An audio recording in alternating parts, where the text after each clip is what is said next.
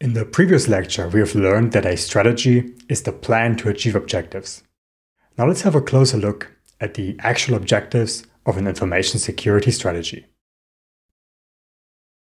In order to define objectives, we have to start where we are currently at, the so-called current state. This is where your business stands today in terms of information security. The so-called desired state is basically a snapshot of everything security related at some time in the future.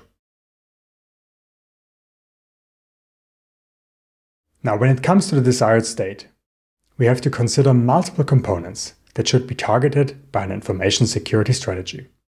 First, we have principles, policies, and frameworks. These are the bedrock of our strategy, the guiding lights that dictate how information security is approached and managed.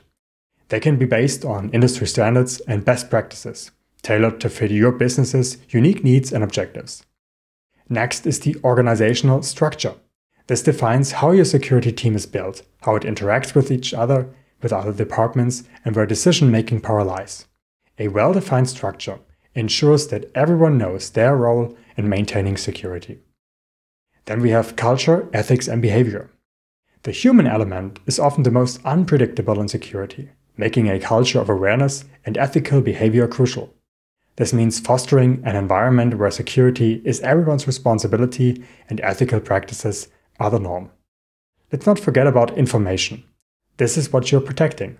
A desired state ensures that all data, from customer details to trade secrets, is classified, handled, and stored securely and in compliance with regulations.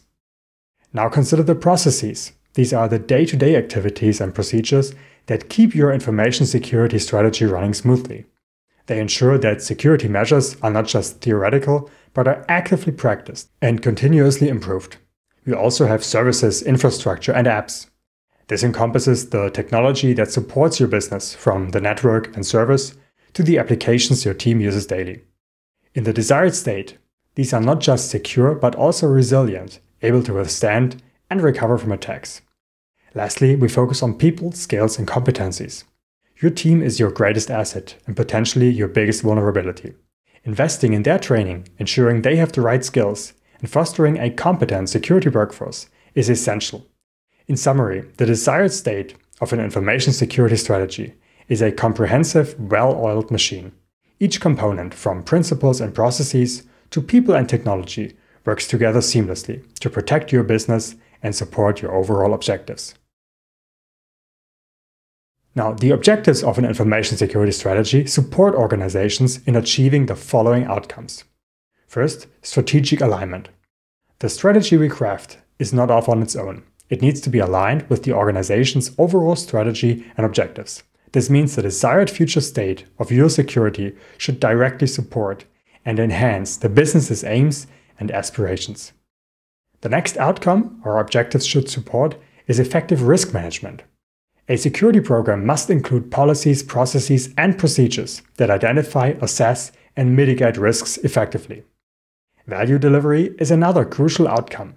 The resources that are poured into security should yield results, driving continual improvement and efficiency. So reduce risks at a reasonable cost without spending too much and add value to the organization. Closely linked to this is resource optimization. Our strategy should make the best use of what we have, from people to technology. This means being lean and focused, ensuring every asset is utilized effectively to meet our strategic goals. Performance measurement is about making things quantifiable. We need to ensure that our security efforts and business operations are not just effective but also measurable. This allows management to track progress, understand impact, and drive continual improvement. Lastly, we have assurance process integration. Often organizations have separate assurance processes operating in silos. An effective strategy should integrate these processes, ensuring a cohesive and comprehensive approach to security. A strategy will have strategic objectives by default. Strategic objectives are very high level, almost like from a bird's eye view. In order for the organization to actually accomplish these objectives, we need to translate these strategic objectives into tactical and operational objectives. Let's suppose one of our strategic objectives is to enhance the overall security posture to reduce data breach incidents by, let's say, 30% in the next year. Now, this is a clear and measurable goal, but it's quite broad. So, how do we make it actionable on the ground? We break it down into tactical and operational objectives.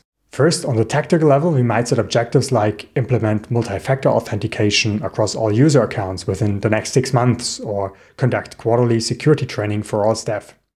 These objectives are, are more specific than our strategic goal, targeting particular areas that contribute to the larger aim. They are about how we plan to achieve the strategy in specific areas or departments. Then we move to the operational level, which is even more detailed and focused on the day to day actions. For the tactical objective of implementing multi factor authentication, an operational objective could be complete an audit of current user accounts for multi factor authentication readiness by the end of the month or begin multi-factor authentication rollout with IT department staff as a pilot group within, let's say, the next two weeks, for example. Now, by translating strategic objectives into tactical and operational objectives, we create a clear path from the high level goal to the everyday actions. This approach ensures that the entire organization is aligned and working effectively towards the same end goal. It's about making the lofty and ambitious targets attainable by defining the steps needed to get there on every level of the organization.